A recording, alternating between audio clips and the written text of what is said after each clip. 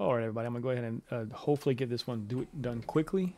Um, it took me a minute to figure out what I needed to do differently to um, kind of get the sort where I wanted to get it. So let's take a look at what we got. All right. Um, first thing, I guess we'll go through the uh, character template. All points in the health. Attributes are 13 magic, uh, 35 health, 21 stamina. The damage is around 3,000, but whenever we use our uh, crit surge, it's up to uh, 3,500 right about. Spell resists at 22, uh, but whenever we proc everything that we need to, we are sitting at 31 and 29, which is respectable. I wouldn't say it's the best, but it actually plays well in the way that this build is made, okay? The crits are okay, but not great, but whenever we use our dark deal, or any other dark magic we'll talk about before is going to give us 6% more crit through spell crit, and we're good that way. Okay. That's the build that way. Uh, the food we have on is smoked bear haunch. We want as much regen as possible. You don't have to use that. You could use Jewels of Misrule if you'd like. The thief uh, is our Mundus stone, and that's about it when it comes to uh, buffs and buffs and, and non-buffs or secondary buffs. Okay, the skills we have on. All right, we're gonna go back bar first. We have elemental susceptibility because that plays into one of our sets on the back bar. We're going to have Camouflage Hunter just as a dead a skill. We're not going to use it. I don't like having a bunch of skills on my bar. I'm not trying to write a thesis when I'm playing the game, okay? I'm trying to hurry up, get done what I got to get done, and move on. I like Crit Surge because it has a, a, 33 second proc timer. I would prefer the Magicka version over Hurricane, but you can take Hurricane for the speed. The Magicka version plays better into this uh, lightning form, and I'll tell you why, because it's going to reduce your costs needed to cast the spell and take it away from the stamina pool and place it into your magic pool. It's also going to uh, increase the timer. So now we're going to stay on the back bar or off our back bar, I should say, for even longer. If you'd like to go back there and go ahead and hit your vigor, go ahead. Okay, vigor is going to give us another bonus right here at the very bottom. After casting your vigor, you get minor resolve. Okay, so it's not just to heal, it's there for resolve. Okay, the last thing our back bar is Eye of Frost. That is just in case we're having trouble killing somebody just from doing our regular activities. And we'll add a little bit of DPS. We're going to go ahead and pop that. We're going to run into them and do damage that way. Why is that important? Well, because it can slow them down for us. It has an AoE effect, and it, you know, obviously, um, does does good good damage. Okay, we can take it with us. It walks with us. We took Eye of Frost because when I when I cast Eye of Frost, it walks with me, just like my Hurricane. If I was to use Hurricane, or since I have um, a Lightning form, right wherever I go, I'm do damage. Same thing with my Storm. Now that I have Eye of Frost, wherever I walk, I'm dropping Ice Crystals. I can bar swap. It's still with me. Okay, so I'm applying damage wherever I go. If that's the uh, if that's the going effect. If my enemy is not putting much pressure on me, and I am putting a lot of pressure on them, but I just can't get them, I'm to go ahead and use that. That's our damage ultimate, okay? And that's, that's all I want to use. I'm not going for Dawnbreaker. I'm not going for any of the, you know, really cool stuff to really knock people over, man, okay? All right, next. On the front bar, we're going to use Dark Deal people that go in PvP can be interrupted. That's fine. It, it's fine. I, we're going to work around that, I promise. Camouflage Hunter, another dead spot. Don't need it. I'm not out here trying to find every single ability that I feel like is going to give me, you know, 100% bonuses, okay? Uh, streak, uh, because I want to be able to play with their stamina pool, okay? Just it, Streak cannot be blocked. So if they're out there blocking and acting like a, um, a Chad blocking everything, uh, make sure that you streak through them and make sure their hands go down to the ground. They got to break free. If they don't want to break free, that's fine. Put as much damage as you can into them while they're down on the ground. Okay. And on this build, we're gonna have a we're gonna have a specific way to do that. The next skill is a magic skill. As you can see, our front bar is all magic abilities. Magic. Magic, magic, magic. It's all magic damage. But we're in this. It's funny. This character is not going to be the majority of damage is not going to be damage. Okay. the majority of the damage is not going to be magic damage. Okay. We're gonna we're gonna really burn through our stam pool faster than you might think. Okay. Uh, next skill up is Crystal Frags. Crystal Frags does good damage, um, but it's gonna do even better damage uh, when we have everything going. Specifically, our elemental susceptibility and our crit surge. Right. So crit surge pumps it up almost a 1k uh, just by putting crit surge on. All right. So um, next, uh, Haunting Curse, 8k, that's with our buff. And then Spell Wall. Brent, why in the world would you take Spell Wall? I'll tell you why. First off, I'm to go through why I have, I think I went through why I have these skills on the back. Susceptibility, just to let you know, gives you at the very bottom, every one 7.5 seconds, the enemy is affected with a burning chill concussion effect. Next, um, also, not only does it do that, but it also creates a breach, which means it reduces the amount of damage that the enemy can mitigate. All right, so it reduces their physical and spell resistances. So that's going to be important. It's two things for us. It also does one thing, which is it procs our back bar set, which I'll go over really briefly, which is the perfected ice staff of Vateshran's. And we have defending on the back bar. Okay, because we're not going to be on the back bar very long. You could take infused if you'd like. I think you could use infused if we use the storm with it. So that's fine. So why do we take this? Um, the reason why I take it is because that little beam right there does great damage. Uh, well, not great damage, but good enough damage for us to keep it up, okay?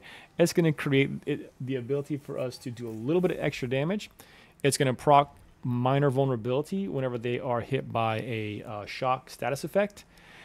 And that shock status effect is going to give us the opportunity to do a little bit more damage because they have minor vulnerability on their person, okay? the front bar. The real reason why we have Dark Deal is so we can get stamina back. You see that? It says bargain to restore magic. Uh, so give away magic to get about 9,000 health. And then stamina instantly and stamina over 10 seconds. We're going to really focus more on the idea of getting that 10 second stamina.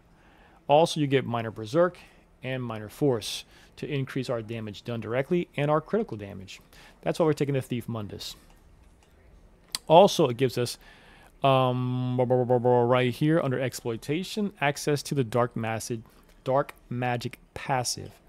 Um, you're gonna want to take all these passive that are from the dark magic skill tree. You don't necessarily have to take every single one from this skill tree. The rebate um, you could use uh, ultimate, obviously, Daedric protection increases your health while you have a we're good with that one that's great too and then this one i um you don't have to have that one up because we don't have a pet okay? So you don't have to take expert summoner if you don't want to. Uh, going over the last skill tree for passives the storm calling passives yes yes yes and yes. So all of those passives okay so Dark Deal, we just went over what we cast it. We're getting the passive, which is for the crit, and we're also getting minor Berserk and minor Force. You don't have to keep it up 100% of the time. If it falls off, don't freak out. Just apply it right before you go into combat. You'll be just fine. Okay? Next is Streak. We said is to play with their stamina because it's going to stun them. All right. The other one is um, we talked about already, which is Crystal Frags. Why Frags, Brennus? Oh, we need a magical skill. It's our hardest hitting magical skill on this character. And it does this, which is when you hit an opponent with a directly charged uh, Dark Magic ability, you heal for about 4k health. In PvP, it's cut in half, so it's about 2, okay?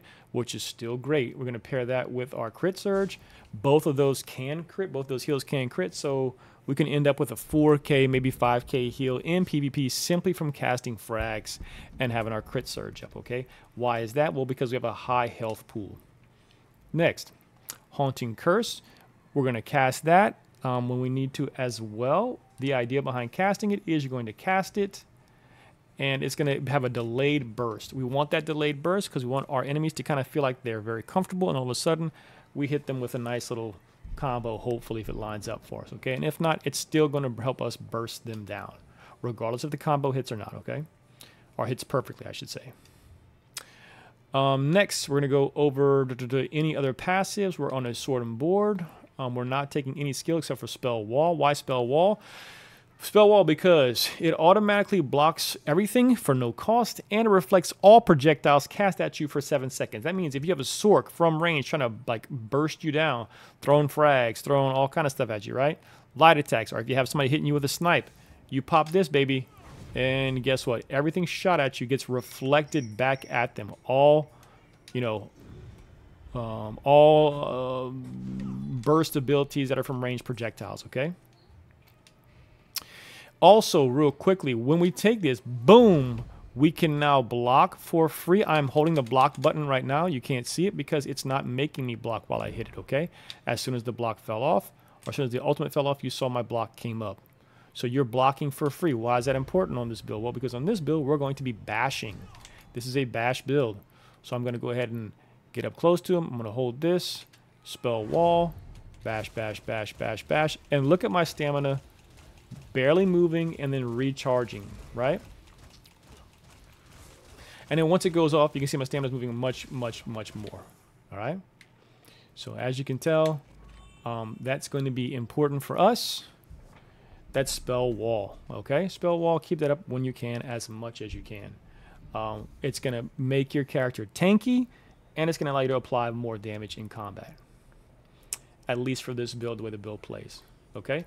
Uh, champion points for now, we got... Let's see, we have Ironclad, we have Resilience for crit resistance, Ironclad for damage reduction, Bulwark for a sword and board, um, more physical and spell resistance, and Focused Mending. All right, why not? Focused Mending, just in case we get some more heals out of there, all right? Cool.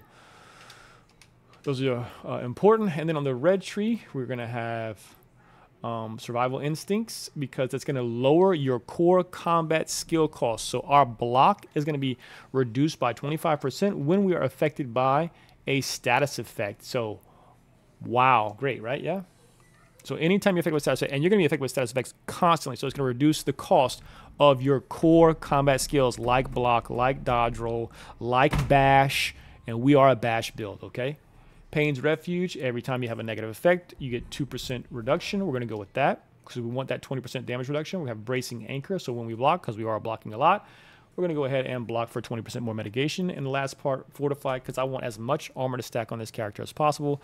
I've tried it without that, and I feel like they still cut through you as you know quickly as possible. I want as much armor as I can take on this character. Okay, that was the CPs. I think I did some of the passives. We'll do a couple more. Um, one hand sword and board. Fortress. You want to take all these. They're all very important because we're a bash build. Specifically this one. Deadly Bash adds 500 more damage and costs 50% less. Um, we are on destruction staff, so we want to take all these as well. You want to be able to heavy attack. Why? We're going to heavy attack with this thing because if we're standing outside a keep, we're just going to keep doing this. Just heavy attacking. Heavy attack with the ice staff. Going to get a free shield once every, I don't know, 10 seconds. Yeah, just keep doing that. Okay? Keep doing that. Um, you also want to block with magic if you want to. That doesn't need that. Uh, that's fine. We can add more of a chance to elemental force. That's fine. Here you want to, like I said at the very bottom, equipped an ice staff reduces the blocking uh, cost uh, by 36% and increases damage you can block. And when you kill someone with destruction ability, which we don't have any, but right here at the very bottom on Trifocus, while an ice staff is equipped, blocking costs magicka instead of stamina, which is just fine for this build. We want to save stamina because we're a block build. Okay. I kind of went through things quickly. We're going to go through it a, a, little bit more slowly in just a minute after I go through what the gear is. Okay. Um, one other thing we are is we are a Nord because we're going to get as much ultimate built as possible. First off, we're going to increase our max health and our frost resistance. Second, we're going to increase our max stamina. And the, the second paragraph here, while you take damage, you gain 5 ultimate. That's an automatic effect once every 10 seconds. And we're going to increase our spell and physical resistance, which is great. We want to be as tanky as possible because we're a block build. Take as many of the um, assault and support passives as possible. Um, you want the undaunted passives. Uh, you want the Fighters Guild passives. They're going to add damage, and they're going to add your ability to under banish the wicked to generate ultimate anytime that you kill any enemy. That could be anybody. It could be just adds at a, at a pin, okay? Um, um, we are on two, two, three when it comes to our armor weights, so we're going to need all the benefits from any from all of these. There are going to be a couple that you can take out. Uh, we have two light, three medium, uh, two heavy. You can adjust this and go three, three, one. I would that would be three light, three heavy, one medium. The reason why we're in three medium is because we want to be able to increase our stamina recovery by a total of 12%. If we take off two more pieces of stamina, I'm sorry, excuse me, uh, armor, then we're going to lose 8% of our stamina recovery, which is significant. We want to have a high stamina recovery on this build because we are trying to um, increase our ability to do damage uh, with our with our bash attacks, right? The other cool thing is, where is it at? A dodge roll cost reduction by 12%. Um, you know, it, it's all together. It's not a real big. We don't need the agility on this one per se because our bash isn't based off of uh, your weapon and spell damage.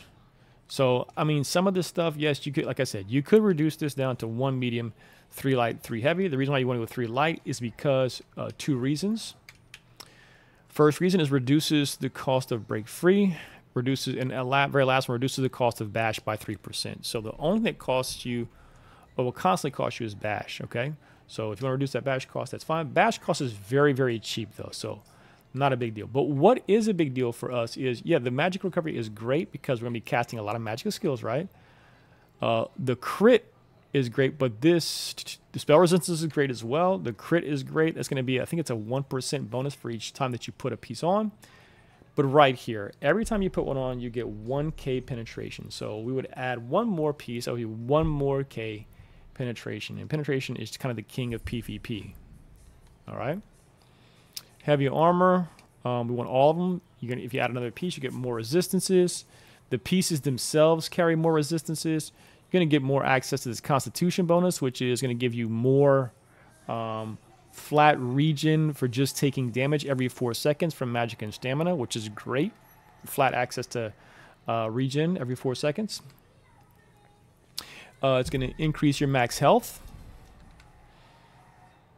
It's going to increase the amount of uh, resources you get from your heavy attacks.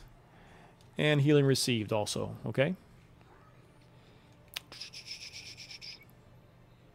So those are all important. Uh, also, heavy armor, if you put another piece of heavy armor on, you're going to get access to even more bash damage. So that's fine as well. It's, it's pretty cool too. Okay, and you can also block more damage, one percent more. Which I mean, every percent point is important. All right, so you could go like I said, three, three, one, three heavy, three light, one medium, or you could stay like I have it, which is two, three, two, which is two medium, um, two light. I'm sorry, three medium, two light, two heavy. I think the three, three, one is actually better. I just didn't think about that till afterward. Okay, just for this build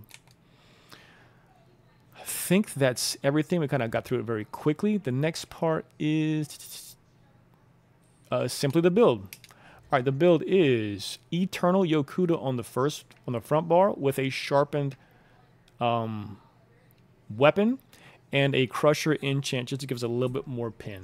Okay, because we're not we're not we're not totally, you know, focused on pin on this build, but more pin is always better. Okay. Next, back bar, Vateshran's Ice Staff. So when we apply that um, elemental susceptibility is going to apply that nice little dot that we showed earlier. This nice little string right there, okay? It does, it does a little bit of damage for us. It's not very much damage. Does a little bit of damage, but it also gives us the access to status effects, which is which is rather important for what we're trying to do here because we want um, the characters that we're playing against to have like a minor vulnerability, which you're going to get from them having a, a status effect caused by uh, taking um, shock damage. Okay, I mean you can even put a shock glyph here on your weapon too to give you even more like a chance to get that. Okay, because we're going to be bashing quite a bit. And that 5% is way better than this little 811 pin. So you, you might want to go with a, a shock glyph, okay? Or um, Blah, blah, blah, monster set is Ro- we- we're not gonna run a, a um, mythic. We're gonna run Roksa the Warped Mask and Arm Cop. Um, I like to have as much impin as possible. I mean, five impin, and then two um, re- reinforced pieces with your heavy legs and heavy chest, if you'd like. Um, all stamina glyphs except for no, they're all stamina glyphs. Yeah, because all of our um, our points are in health when it comes to our um, attribute points. Okay, so all stamina glyphs, right? So um, everything impin, I would say, except for the legs and the chest. And you can do those reinforced if you like. And it's pretty simple. Roksa the Warped is our um, monster set. Why? Because it gives tons and tons of recovery. So you're going to start to glow green. Oh, first off, let me back it up a little bit. Why did I pick of Eternal Yuki Um, the 2 through 4 is good. Uh, even the 2 through 5. You have two 5-piece bonuses, which you don't normally see unless it's perfected gear. This one you don't have to have perfected. It's just there for you. You're going to have two bonuses of, of, healing taken all the way up to 8%, which stacks with our CP Mundus, mean, our CP points that we have slotted. And that is the one that's uh, focus mending for an extra 10%. So now we have an 18% bonus to our healing, which is great. But the, the right here at the very bottom, when you take damage at 25% below health, you heal for about 23,000 health and gain 100 ultimate. So that's in PvP, that's going to be a 10k heal, which can crit. So it might end up being a 20k heal, right? That's pretty much up to full. Now it says every one minute, and that's fine. Um, for the people who are running sets like, um, what is that set? Mara's Balm, right? Mara's Balm, the heal is a 14, a 1.4k heal. 1.4 for each negative effect cleansed up to 6. 6 times 1.4 is not very high. Me so 6 times 1.5. Um, blah, blah, blah. That's like what? 4? 4K? Something like that, right? 4K? 4.5K? I don't know. 4K, I think. So 4K, then you got to cut that half in PvP, so it's 3K.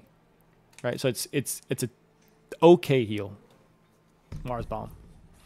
But if you compare Mara's Balm to this here, which is the Eternal Yokuda, it's going to be like um, much different. Not only that, but Mara's Balm has a side. The, the added effect is it cleanses all these negative effects, which is great. But again, it only does that once every uh, 30 seconds. This once every minute, better heal, and it gives you 100 ultimate. Yeah.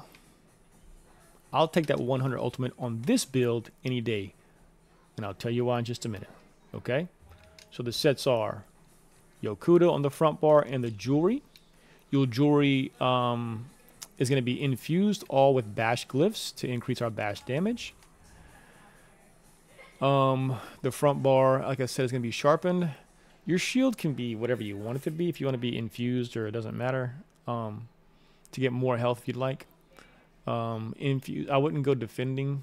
It's kind of a it's kind of a small piece with only 1700.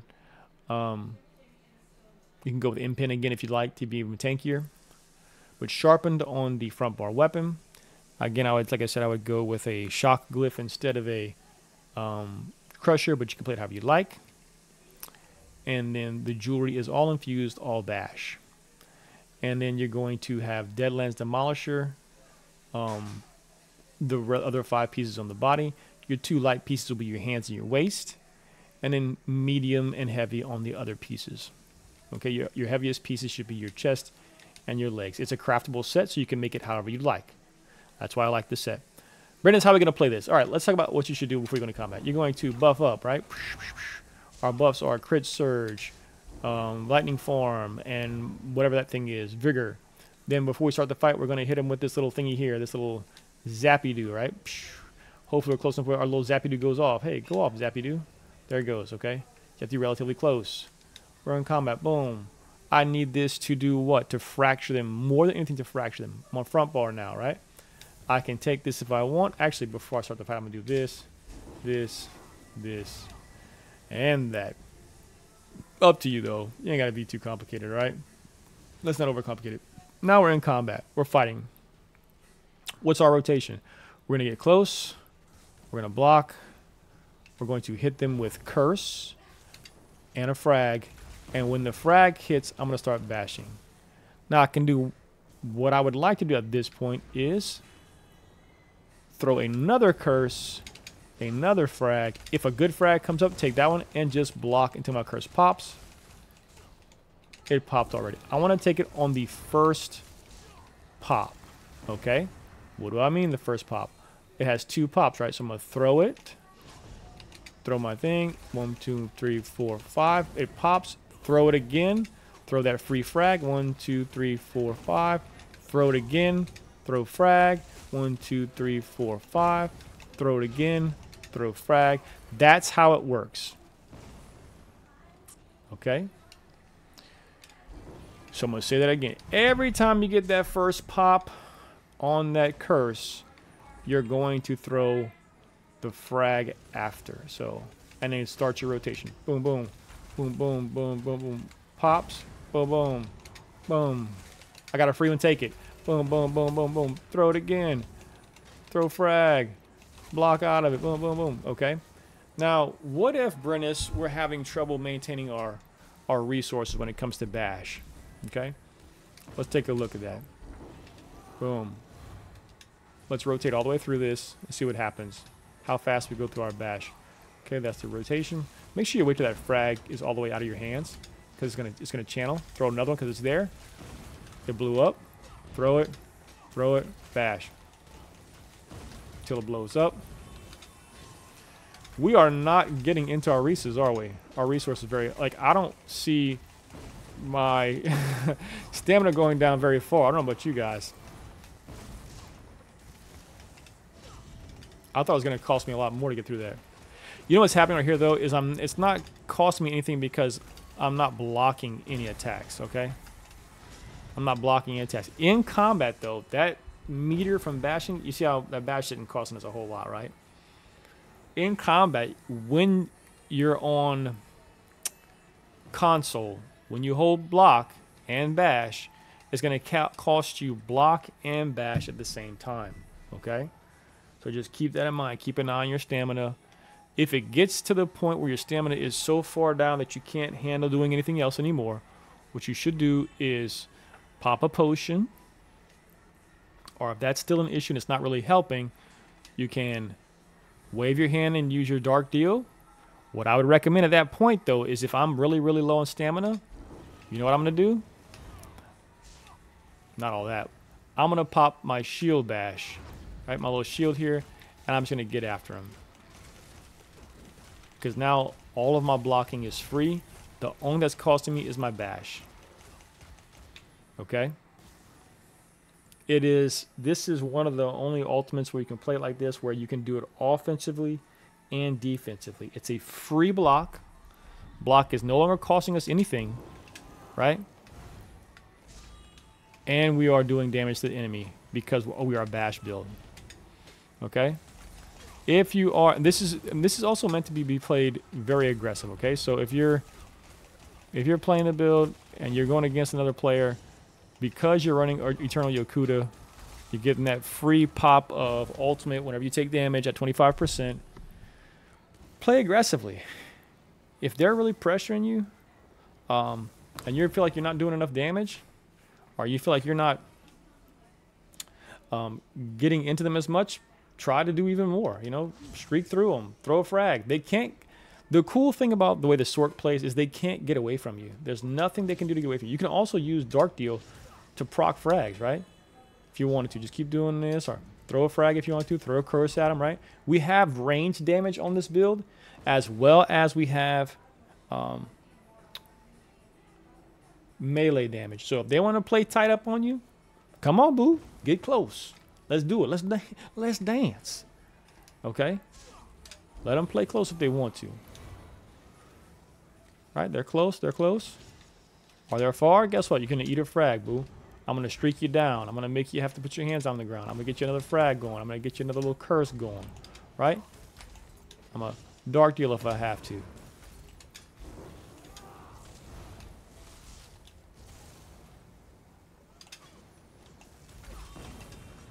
Right now, I can run out of resources in Magicka pretty easily. Okay.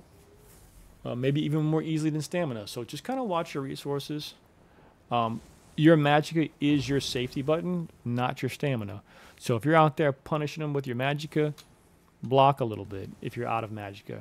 Okay, your your magicka, your your block isn't going to cost you anything but stamina when you're on your um, your stamina bar, right? You're doing damage, you get pummeled a little bit, you want to play, you want to turtle up a little bit. Hey, you know, wait for your stuff to pop, for your Eternal Yokuda. When it pops, apply some damage, right? Because you're gonna get a big fatty heal out of it. And after you're done applying damage, you're like, man, I still gotta, I gotta play defensively now. They're still hitting me a lot. Boom. Got it. And guess what? I'm telling a little, a little secret. While that shield is up, I can dark deal as much as I want to. Right? So I'm here. Uh, they can interrupt your dark deal if you're by yourself, right? If, if I'm sorry, if they can interrupt your dark deal not while you're by yourself, but they can just interrupt dark deal. It's one of the casters, uh, casting skills that, that can be interrupted, right? But if I have this little shield wall up and I'm casting dark deal, guess what? No interrupting. Right? And just I'm just I can do this all day as long as my little shield is up, okay? And the cool thing again about that spell wall, I'm gonna say it again, is not only does it protect you for free to allow me to cast this little thingy, but it also reflects objects back at the attacker. Okay? So that's the best I got for now. Hopefully you guys like it. I'm going to be building this. Um, there is another version where you can go one bar, Deadlands Demolisher, with what I would re recommend would be uh, Amber Plasm, Deadlands Demolisher, Oaken Soul, One Piece Crags for penetration. Okay? And you're not going to have as much penetration on the build because you won't have access to back bar skills but it's a it's a great setup. Uh, your ultimate can still be shield bash. Um, the only thing you swap out on your front bar here, keep the front bar exactly the same. All you're gonna do is take off our little dude on the front, Camo Hunter, and put Vigor instead. It's a very simple swap. Okay? Good luck. Hope you enjoy it. And I'll catch you guys later.